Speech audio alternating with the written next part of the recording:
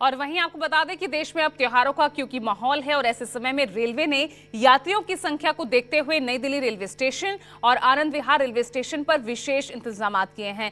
नई दिल्ली से संवाददाता विमल कौशिक की ये रिपोर्ट देखिए। दिवाली, छठ पूजा और अन्य त्योहारों के लिए बड़ी संख्या में लोग अपने घरों के लिए निकल रहे हैं, जिसे देखते हुए दिल्ली के अलग अलग रेलवे स्टेशन पर विशेष इंतज़ाम किए गए हैं। और इस वक्त मैं नई दिल्ली रेलवे स्टेशन पर मौजूद हूँ, जहाँ पर ये मेरे पीछे देख रहे हैं, कितना बड़ा पेविलियन बनाया गया है, जहाँ हज़ारों की संख्या में यात्री जो हैं, वो लगातार यहाँ पर नई दिल्ली स्टेशन पहुँच रहे हैं अपने अपनी ट्रेन को पकड़ने के लिए अपने अपने गंतव्य तक जाने के लिए। तो लिहाजा उनको कोई असुविधा ना हो, उसका पूरा पूरा ख्याल यहाँ पर रखा गया है। यहाँ पर सुरक्षा के भी इंतज़ाम है। बाकायदा यहाँ पर इंक्वायरी काउंटर भी इस्टेब्लिश किया गया है।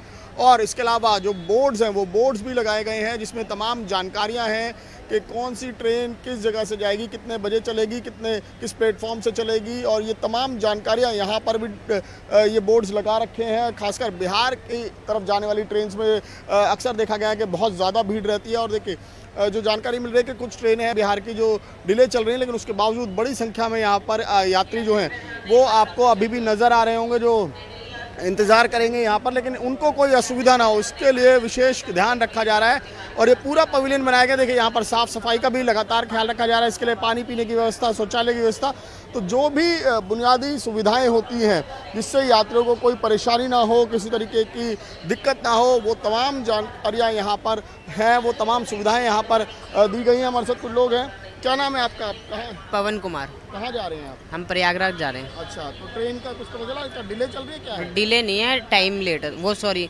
दूसरी ट्रेन है महाबोधि। अच्छा। तो यहाँ कोई सुविधा तो ना दिक्कत हो रही है ना ना कोई दिक्कत नहीं यहाँ सब सुविधा है। सब सब बढ़िया जी। और ट्रेन के बारे में जानकारी टाइम से? हाँ टाइम से एक बजे है। जी। अब इसके बाद कितना गाड़ी पकड़ने में कितना भीड़ है? हाँ जी बिल्कुल और आप लोग? हम लोग प्रयागराज जाएँगे। अच्छा। हाँ जी। तो ट्रेन मिस हो गई सुबह आपकी हाँ जी साथ में है सब लोग। तमाम जो लोग हैं वो लाइनों के ज़रिए तमाम यात्री जो हैं वो लाइनों के ज़रिए अच्छे से अंदर स्टेशन में जाएँ और अपनी अपनी ट्रेन से अपनी यात्रा आगे कर सकें। कमिश्नर कलिकांत के साथ में कौशिक न्यूज़ ट्वेंटी दिल्ली। नई दिल्ली रेलवे स्टेशन पर इस बार त्योहारों की तैयारी के लिए विशेष इंतज़ाम दिख रहे हैं। एक साथ बहुत ज़्यादा भीड़ ना बढ़े, इसका पूरी तरह से ध्यान रखा जा रहा है। इसके लिए बाकायदा अलग अलग जो कैटेगरीज होती हैं, जैसे जनरल के लिए स्लीपर क्लास के लिए एसी क्लास के लिए, तीनों के लिए ही अलग अलग एंट्री पॉइंट्स बनाए गए हैं। एक गेट से जो है वो जनरल जो टिकट वाले लोग हैं, उनकी एंट्री होगी। दूसरे गेट से ठीक सामने आप देख रहे हैं, वहाँ से स्लीपर क्लास के जो है लोगों की वो एंट्री होगी।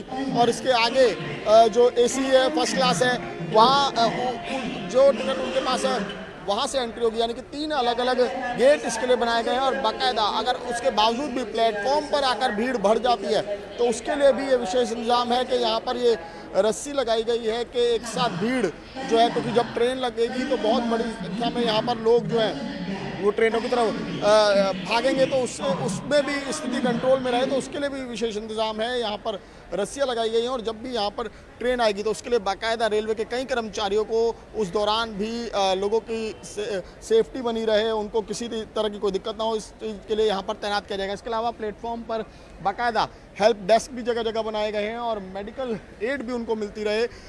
वो भी उसकी भी देखिए मेडिकल यहाँ पर ये जो है वो डेस्क लगाया गया जहाँ पर ये ब्रीफिंग कर रहे हैं कि अगर लोग आते हैं तो उनको किस तरीके से जानकारी देनी है और या फिर अगर उनको किसी चीज़ की ज़रूरत होती है तो उस चीज़, वो कैसे उनकी मदद करनी है? तो यानी कि यही कहा जाएगा कि रेलवे ने इस बार जो है विशेष प्रबंध किए हैं और जिस तरीके से दिल्ली में एक तरफ़ सुरक्षा को लेकर हाई अलर्ट है तो उसका भी विशेष ध्यान रखा जा रहा है। जगह जगह जो है वो सुरक्षा चेकिंग है जगह जगह सुरक्षाकर्मी तैनात हैं। कमिश्नर कालीकांत जहाँ के साथ कौशिक, न्यूज़ ट्वेंटी